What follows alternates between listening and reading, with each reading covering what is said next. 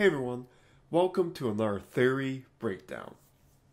Now, I usually talk about compositions, uh, color, value, that sort of thing, but I never really talked about anatomy and human movement, that sort of thing, so I figured it might be time for that.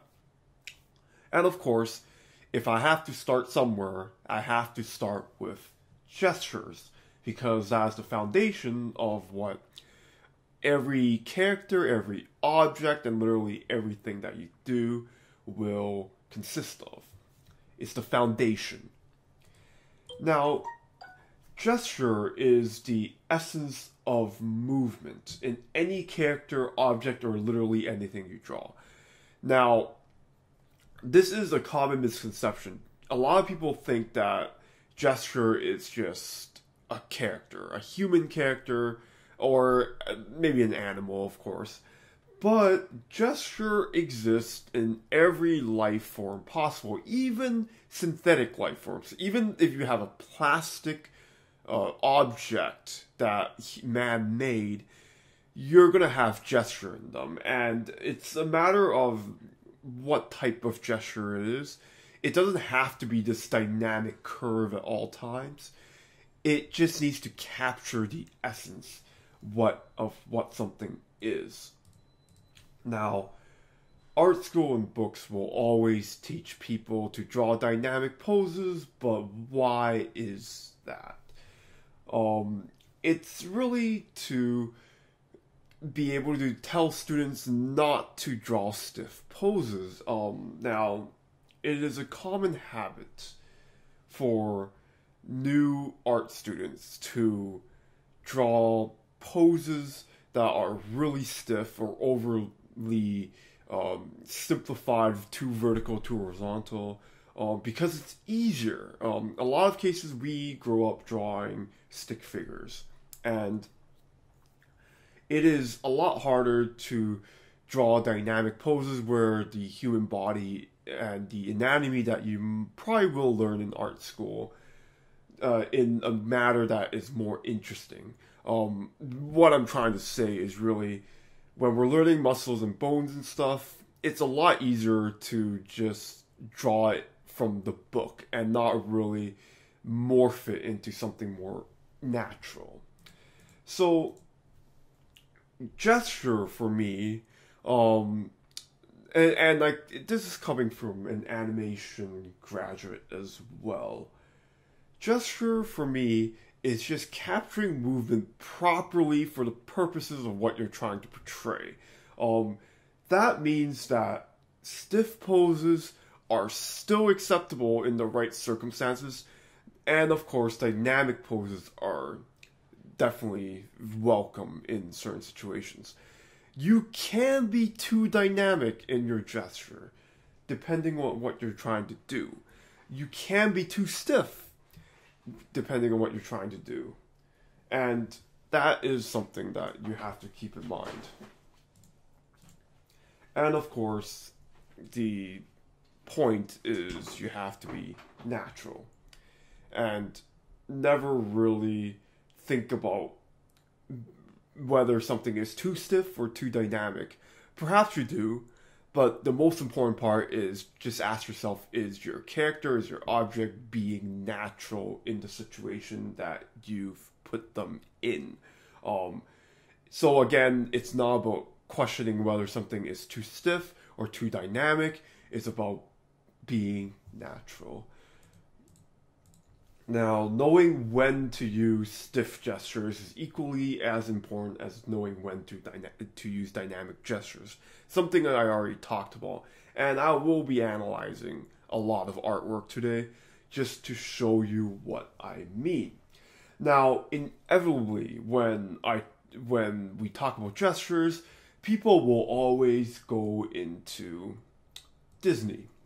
Now, Disney is the hallmark of where the, the animation style came from. Of course, having a long history, we know that yes, there are a lot of fundamentals of animation and art in general that came from Disney.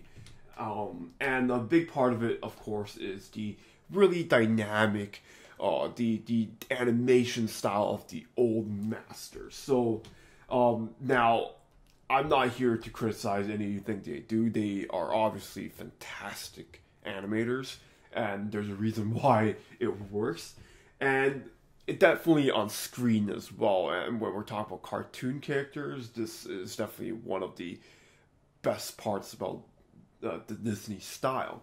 So you notice that when we're thinking of gestures, we feel the there's a lot to talk about when it comes to creating great gestures. Um, but I just wanted to go over the really raw essence, the, the fundamental parts of it. Now, you see that Tarzan and the gorilla here, very dynamic. Uh, definitely a very clear curve of just showing the uh, natural gorilla pose, the power pose. Now, this is, of course, exaggerated a little bit from how gorillas actually act in real life, but of course, we're talking about cartoons. They do have to exaggerate and they have to really push what is natural in order to create a more dynamic feeling to their work. Now we can go into more gestures here. Of course, Tarzan is a great example of what I like to study when it comes to dynamic posing. Um, very, you could watch the movie, and 99% of the time, Tarzan would be in a very nice curve. And there's a lot of really nice things going on when it comes to, especially when it comes to power posing with Tarzan, very dynamic. Um, definitely look into that if you're looking for this, just creating these awesome, dynamic, literally natural poses uh, inspired from the world of the the animal kingdom. Um, now, you might think, well, all characters must be very, very dynamic, right? And it means that you always want to have dynamic poses, but that's not necessarily true because we can look into this character. Um, now, bear bear with me. I completely forgot what her name is. Uh, on the top of my head, of course, but you notice that with her character, she's very subtle. Um, definitely not as dynamic as Tarzan. It goes to show that you do not need to make everything dynamic because there is a reason for having stiffer characters. And in this particular case, she is clearly very villainous. Um, she has to show power in the sense of very, very, uh, I guess, villainous power. And a lot of cases, you'll find that a lot of characters will be more vertical when it comes to that. Now, there is a very subtle tilt of the head here that allows for a how do I say it? it's not a completely stiff pose, and in a way that because of the way she's uh, in a, in the way she's tilting her head, she looks more natural to her character, despite the fact that yes, she is in a very very um uh, she's standing uh, in a very vertical uh, pose. Now, of course, when it comes to Disney, there are ways to break up the verticality of a character. So, for this instance, you see very nice arm movement here pointing towards it, and of course, we can go back into the tilt of the head.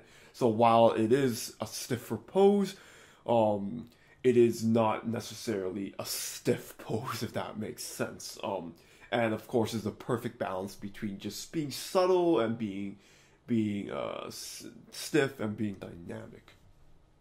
You can start going to Japanese illustrators, also a huge influence of mine. Now, in this particular case, Yoshitaka Amano really wanted to create a very dynamic composition and this character is clearly moving in the air with this weird horse thingy. So you notice that there is a beautiful gesture going on, and even the cloak here creates. Let's use a different color for that. Very, very nice movement going on, and everything is very curvy. You'll find that with a lot of Amano's work. Um, you can definitely take this beyond just the animation realm, you can take these fundamentals into illustration work. And you'll find that a lot of illustrators can be very stiff or they can be very dynamic depending on what is required. Um, generally speaking, a lot of people um, will have their own uh, level of how dynamic they want their characters to, to be. Amano tends to be very, very curvy, very dynamic. Um, other illustrators I'll talk about won't be the same. Um, now we're just going to start hitting towards more subtle territory. In this case, fashion illustration, we're talking simplified uh, characters and in a way um, taking from reality how would i say it and it's not necessarily about uh, it's not necessarily about being too dynamic even though fashion models tend to move in a very dynamic way to really show off the fashion so in this case um, hopefully YouTube doesn't really penalize me for having a nipple out here for, on this woman, but uh, for artistic purposes, uh, this kind of works. So you see how there is a nice flowing curve, and you'll find this a lot with fashion models moving through uh, the catwalk.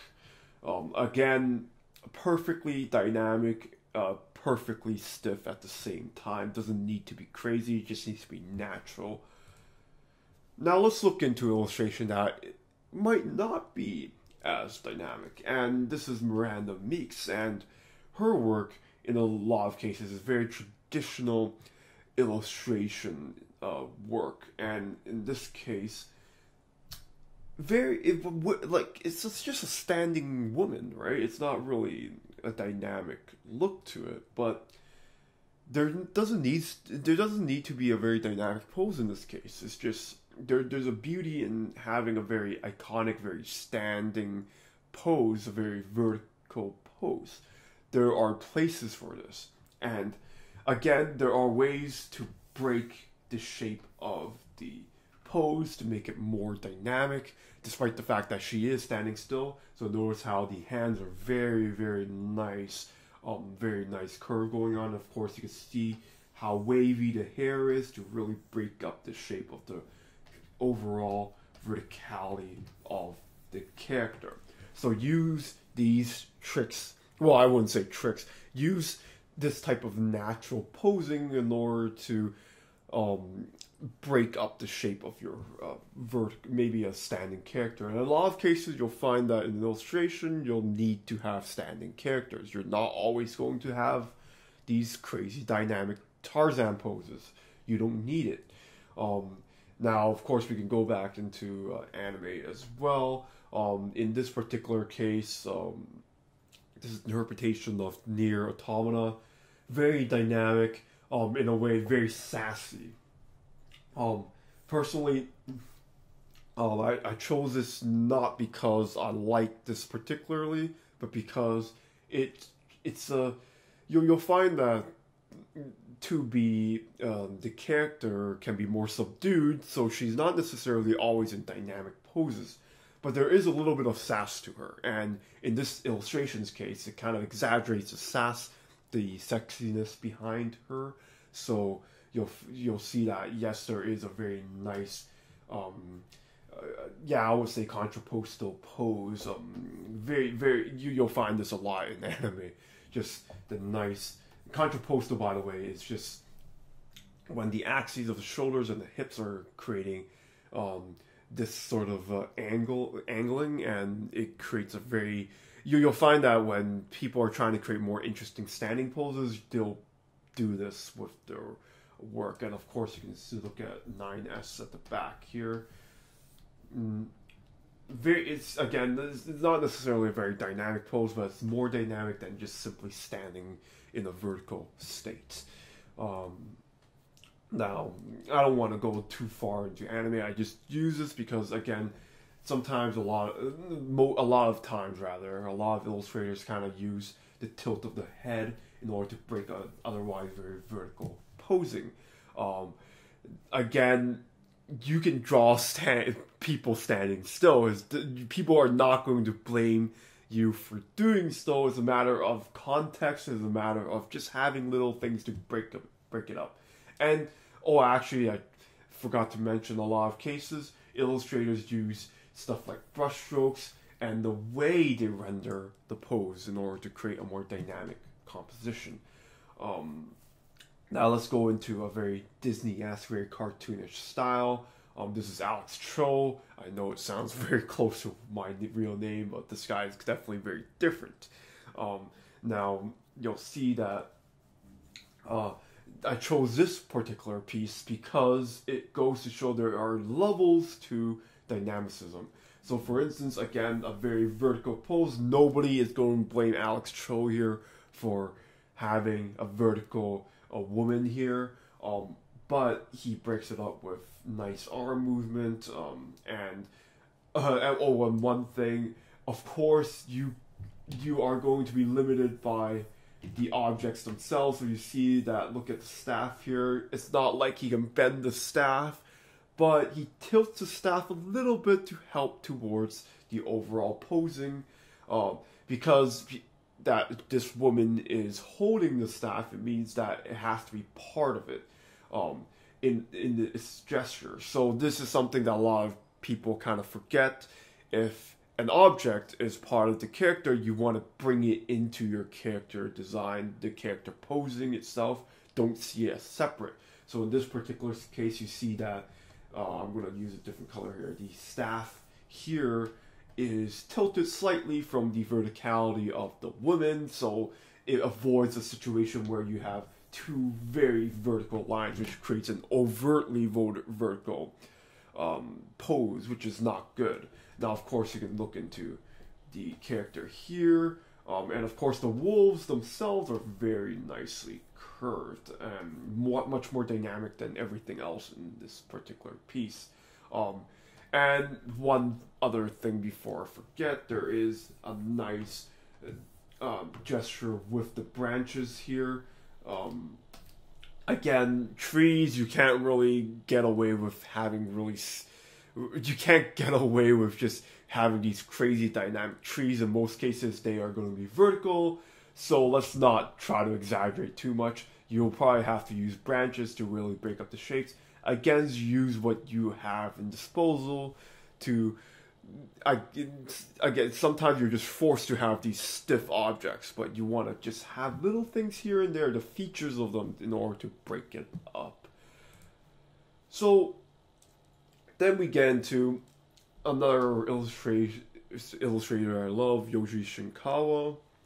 Again, you don't have to have these crazy dynamic poses in your illustration work. You could be defined by in uh, you can be defined by very often very stiff posing in your work, but uh, in Yoji Shinkawa's case, he breaks it up by having these nice brushstrokes. I'm not going to draw every one of them. So the brushstrokes in this case is very dynamic. He doesn't have these characters as dynamic, and that's a big difference. He's using tools of his own style in order to make it more interesting.